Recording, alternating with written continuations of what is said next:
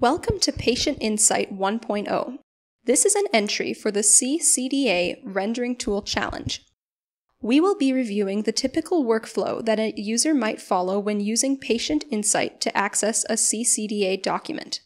Along the way, we will explore some of Patient Insight's additional features and capabilities. Upon accessing Patient Insight, the user will be prompted to upload an XML file. After clicking the button, you can browse to the file manually, or the file can be directly dropped into the window.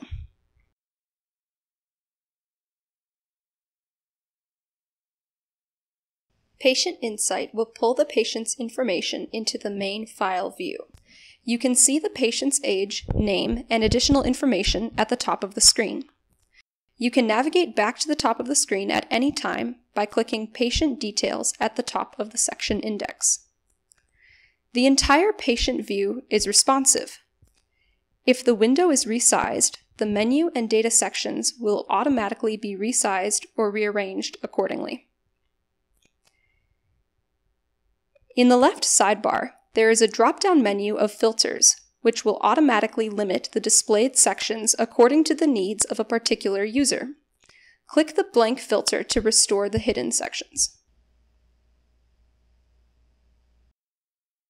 If you want to navigate to a particular section, click the section's name in the left sidebar. Any individual section can be hidden by clicking the trash can icon. The other sections will automatically rearrange to fill the gap left by the hidden section. You can restore hidden sections by clicking their names in the sidebar. Some long sections are displayed in a collapsed accordion.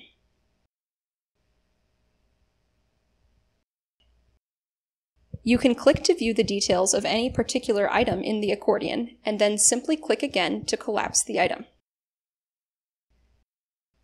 If you want to upload a different CCDA at any time, just click the file icon in the upper right-hand corner of the screen. Again, you can either browse to a new file or drag and drop it into the Browse button.